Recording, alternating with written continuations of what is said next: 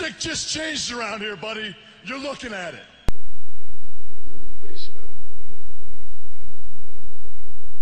Peanut shells. Old hot dogs. Spilled beer. God, I love football. It's like you say, the most important thing is that they tried their hardest and they have fun.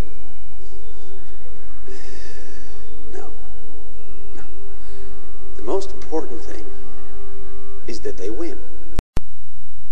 Every one of those kids should have a chance to play. Look at the adjective. Play. We ain't here to play. is to tell these people to shut up if you want to hear what I gotta say.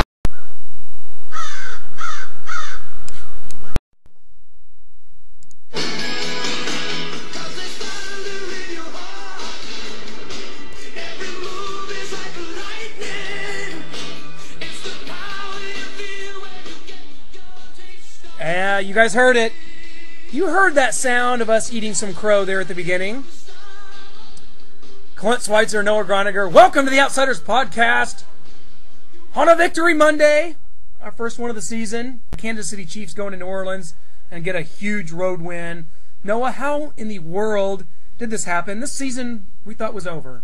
Well, we can thank the replacement refs. We can thank our defense for showing up. We can thank Allen Bailey and Justin Houston for getting a push, getting pressure, getting sacks. Uh, we can't thank Matt Cassel, but we'll get into that a little bit later. Uh, the running game was huge. The defense, the coaching was great. Um, I just liked everything I saw other than number seven. Well, you know, there's obviously something wrong in New Orleans. I'm not trying to diminish the Chiefs' win, but at home against an 0-2 Chiefs team that had been reeling and doing nothing basically to be competitive in a ball game, the Chiefs go in there and beat them. Did they take the Kansas City Chiefs lightly? Is there something really wrong down there in New Orleans? I think something's going to be wrong all year until Sean Payton gets back from his year suspension. I mean, you got Mickey Loomis, the general manager, who's out eight weeks. Joe Vitt is out six weeks. Um, Jonathan Vilma's on the pup list, so he's out six weeks. I mean, there's just something really wrong there. They need that coach. They need that offensive play caller. And you saw them uh, take two timeouts uh, back to back, and you can't do that. That was a penalty. Sean Payton obviously wouldn't have done that. And uh, those replacement refs, I think, got that Pierre Thomas call wrong. It looked like he caught the ball, walked right into the end zone, and uh, that really would have put the game out of reach. Luckily, they overturned it. The Saints missed a field goal, and we have life. Well, and then you know, this game still in the third quarter was 24-6, and uh, the Chiefs basically had moved the ball on New Orleans, but really failed to put up anything but a couple field goals. And I think that that, that Matt Cassel was a detriment in this game. He was overthrowing people badly, even ones he completed were people getting killed. Basically, you saw McCluster uh, have that horrible, you know, elbow hyperextension on a play he had to come back for. I you hate to pile on, you know, a player, you know, after a big win like this, but Matt Cassel, I really think the Chiefs won despite him. Oh, they definitely won in spite of Matt Cassel. I mean, he was sailing balls all over the place. Uh, could have had a touchdown there to Baldwin if he puts it out in front instead of trying to throw it eight feet in the air. Uh, Baldwin almost comes down with an ama- amazing catch, but uh, couldn't quite do it. Um, threw a pass to Bowe where he got his legs taken out. Threw it behind Hillis uh, that seemed to injure Hillis. He never came back in. Out in front of McCluster where he's got to you like kind of fall to the ground to catch it and uses his hand to brace the fall and hyperextends his left elbow. I mean, he was just wild, erratic all day. And the interception, he was just staring that down the whole way. You could see it coming, and it was awful. Well, yes, and uh, more positive note. I mean, Jamaal Charles comes and has another one of his those Jamaal Charles games that we've wanted to see. We've want you know when wondering if Jamaal Charles has that burst. And uh, on that 91 touch, on that 91 yard touchdown, we, we sure saw the burst. He beats the defense uh, to the to the edge and then outruns everybody, and it's good to see that.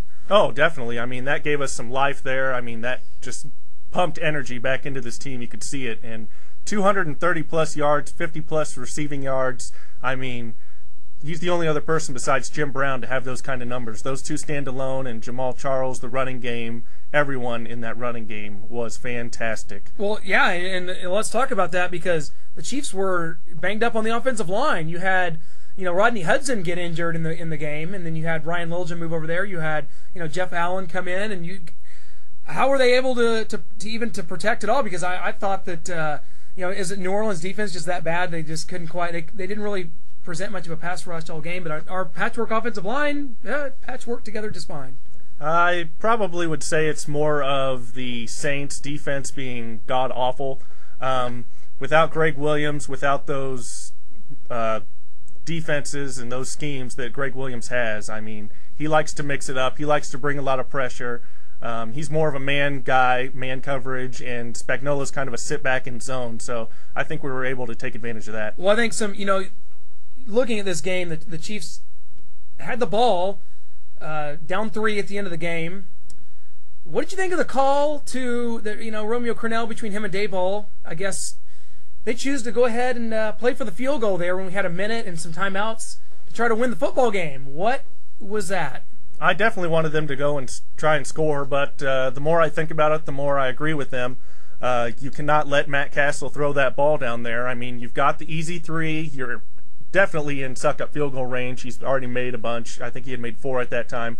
And uh, you just cannot let Cassel throw that ball, have it sail high, tipped off a receiver's hands or something, or and get it picked off, and that's game over. I mean, you got to take your three, go to overtime, and maybe something will happen good, and we won't have to depend on Matt Cassel, and that's what happened. Well, we got into overtime, of course, and uh, you know, I thought I thought Dwayne Bowe had a really good game, and he really on some big on, on some third downs and stuff kept drives going when it looked like that there was no way that was going to happen. Cassel did make a couple good throws to Dwayne Bowe to, to keep drives going, but obviously it was Jamaal Charles that carried the day.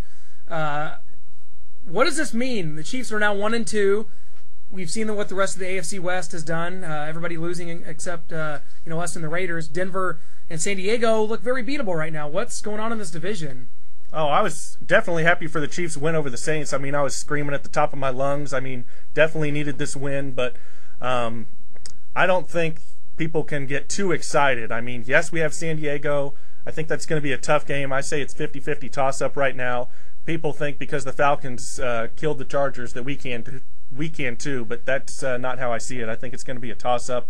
And uh, Denver looks still to be the cream of the crop to me. I mean, they played the Steelers, the Falcons, and the Texans.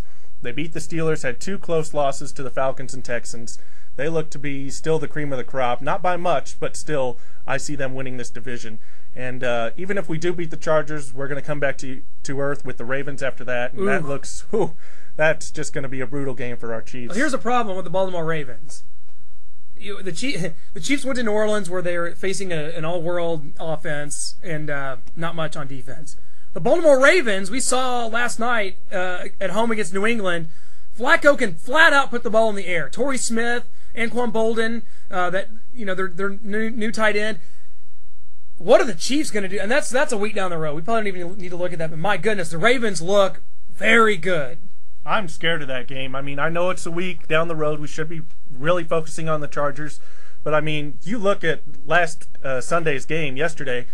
I mean, Matt Cassel sailing those balls. I mean, the Saints aren't really good. They're not really in position. So defensively, so uh, people weren't really getting lit up as much as I think we're going to see in that Oh, Ravens God. game with passes sailing high. Ed Reed, Ray Lewis, they are just going to be lighting people up all day if that continues. Well, here's hoping to, to, to come back home and get a, a big win against the San Diego Chargers next week. That'll put us in first place. That if we would get it. Absolutely. I, I think it's possible. I, I agree with you on it being a 50 50 game. I think, uh, I don't know. I, I, I think it depends on some injury situations. You get maybe, you know, I don't know what the status of, uh, of Hudson is right now, and, and you know, McCluster's really banged up that sh- that elbow. I don't know how fast something like that heals. It looked pretty Well, we horrific. we drafted Devon Wylie for a reason. It's time to step up.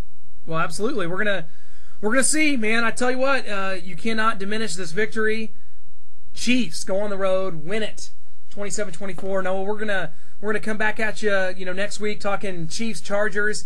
Guys, give us your thoughts. We want to know what you guys think about uh, the win and where the Chiefs are headed. Are they uh, are they trending up, or is this uh, maybe win just an aberration? I think they're headed for first place. I think they can beat Chargers. I know I said it's 50-50, but I'm feeling good about the game going into it. I think we can get first place, and then uh, that Ravens game is uh, yeah. We'll get to that another time. Maybe we just skip next week because that Baltimore game already scares me. I'm having nightmares about Ray Lewis uh, uh, already. So, all right, guys, thank you so much for joining us on the Outsiders podcast. Be sure to keep coming back to the page, liking it, give us uh, giving us your thoughts, and uh, sharing some of our stuff with uh, all your Chiefs fan friends. For Noah Groniger, Clint Switzer, Outsiders podcast. Thanks for joining us. Chiefs!